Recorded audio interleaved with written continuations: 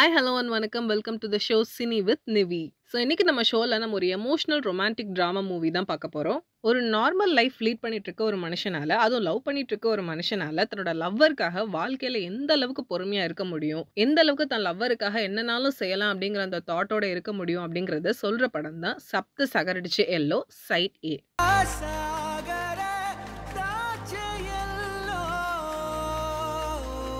and இந்த படத்தில் நம்ம ஹீரோவாக ரக்ஷித் ஷெட்டி நடிச்சிருக்காரு மனு அப்படிங்கிற அந்த கேரக்டரில் அதே போல் ஹீரோயின் பார்த்தீங்கன்னா ருக்மிணி வசந்த். இவங்க வந்து பிரியா அப்படிங்கிற அந்த கேரக்டரில் நடிச்சிருக்காங்க. படம் பார்த்தீங்கன்னா ஃபர்ஸ்ட் எடுத்தனையுமே இந்த மனுவன் பிரியா ஒரு காரில் போகிற மாதிரி ஒரு கார் சீனோட தான் ஆரம்பிக்கும். அண்ட் இந்த சீனில் தான் மனுவோட கேரக்டர் ரிவீல் ஆகும். அதாவது மனு எப்படிப்பட்டவர் அவரோட லைஃப் எப்படி லீட் பண்ணிட்டு போகிறாரு எவ்வளோ சேலரி வாங்குறாரு இந்த மாதிரி விஷயங்கள்லாம் இந்த ஸ்டார்டிங் ஓப்பனிங் சீன்லேயே காமிச்சிருவாங்க. அண்ட் நம்ம ஹீரோயின் பிரியாக்கு பார்த்தீங்கன்னா பாடுறதுல ரொம்ப இன்ட்ரெஸ்ட்டாக இருக்கும். அவங்க அதில் எப்படிலாம் டெவலப் ஆகலாம்னு சொல்லி பார்த்துட்டு இருப்பாங்க. அண்ட் நம்ம ஹீரோயின் பிரியாக்கு தன்னோட சொந்த ஊர் தான் ரொம்ப பிடிக்கும். ஏன்னா அங்கே ஒரு கடல் இருக்கும். அந்த சத்தம் இதெல்லாம் விட்டுட்டு அவங்களால வேற ஊருக்கு ஷிஃப்ட் ஆகி போக முடியல அப்படிங்கிறத தன்னோட அப்பா கிட்ட சென்டிமெண்ட்டாக சின்ன வயசு சொல்லிட்டு இருப்பாங்க. அது ஒரு ஃப்ளாஷ்பேக்காக காமிப்பாங்க. அண்ட் சான்ஸ் கிடைக்கிறப்ப பிரியா வந்து தன்னோட அம்மாவையும் தம்பியும் கூட்டிட்டு சொந்த ஊரில் போய் கொஞ்ச நாள் டைம் ஸ்பெண்ட் பண்ணலான்னு போகிறாங்க அங்கே போய் தான் மனோக்கு பிரியா கால் பண்ணுறாங்க அண்ட் இந்த உலகத்திலேயே அவங்களுக்கு ரொம்ப பிடிச்சது இந்த கடல் தான். இந்த கடலை எனக்கு எவ்வளோ பிடிக்குமோ அந்த அளவுக்கு உன்னையும் பிடிக்கும் அப்படிங்கிற அவங்களோட லவ்வை எக்ஸ்பிரஸ் பண்ணுவாங்க. அண்ட் இந்த காலை கட் பண்ண அப்புறமா மனுவோட தாட் என்னவா இருக்கும்னா பிரியாக்கு எப்படியாவது நம்ம ஒரு வீடு வாங்கி கொடுத்துடணும். அது வந்து கடல் பக்கத்திலேயே இருக்கணும் அப்படின்னு நினைச்சிட்டு இருப்பாரு. அண்ட் அதுக்காக சின்சியரா எல்லார்கிட்டையும் கேட்பாரு அண்ட் நம்ம மனு பாத்தீங்கன்னா ஒரு லக்ஸரியான ஹோம்ல டிரைவரா பன்னெண்டாயிரத்துக்கு வேலை பார்த்துட்டு இருப்பாரு.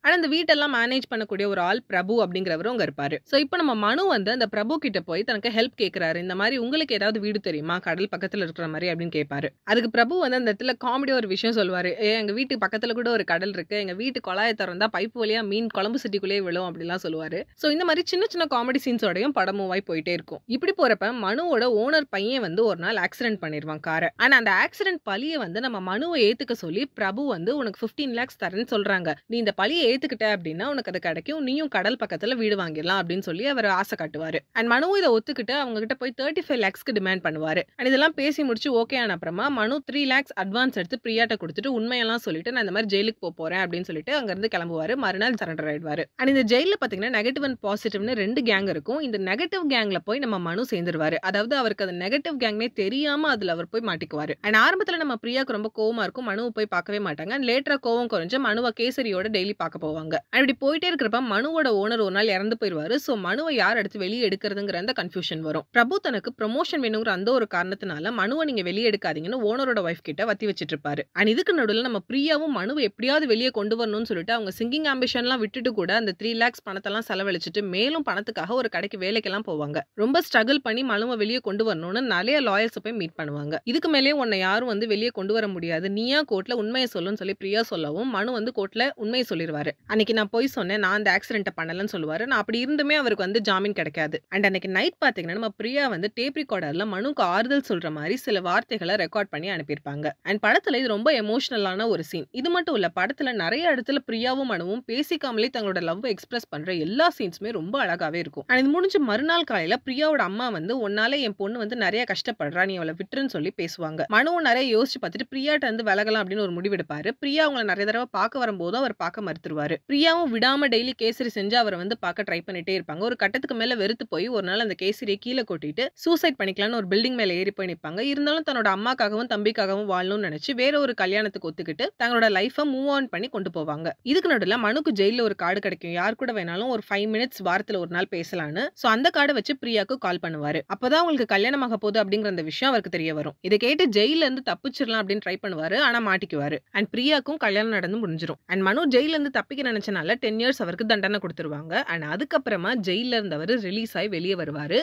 இதோட படத்துக்கு எண்டு கார்டு போட்டுருவாங்க. ஸோ இதுதான் சப்த சகரடிச்ச எல்லோவோட சைடு ஏ. ஸோ சாதாரணமாக ஒரு பன்னெண்டாயிரம் சம்பளம் வாங்கக்கூடிய ஒரு காதலன் தன் காதலிக்காக எந்த எக்ஸ்ட்ரீம்க்கு போகிறாரு செய்யாத தப்பை ஏற்றுக்கிறாரு அவளுக்கு வந்து எப்படியாவது அந்த கடல் பக்கத்தில் ஒரு வீடு அமைச்சு கொடுத்தணுங்கிற அந்த கனவோட அந்த தப்பெல்லாம் ஏற்றுக்கிட்டு அவர் ஜெயிலுக்கு போகிறாரு இதுக்கடுத்து ஜெயிலேருந்து வெளியே வந்த அப்புறமா அவர் எப்படிலாம் மாற போகிறாரு அவரோட லைஃப் அடுத்து எப்படிலாம் இருக்க போகுது அப்படிங்கிறத சொல்கிற படம் தான் Sapta Sagaradaache Ello side B. And இதை கண்டிப்பாக நான் அடுத்த சினி வித் உங்களுக்காக சொல்கிறேன் அண்ட் நீங்களும் படம் பார்த்துட்டு படம் எப்படி இருந்தது அப்படிங்கிறத கீழே கமெண்ட் பண்ணுங்கள்